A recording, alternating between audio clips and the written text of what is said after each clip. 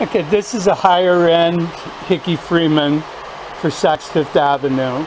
It's a silky material, beautifully made.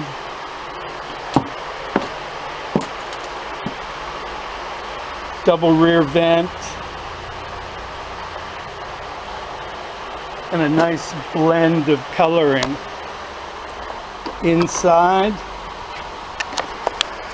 got the label here, full satin lined.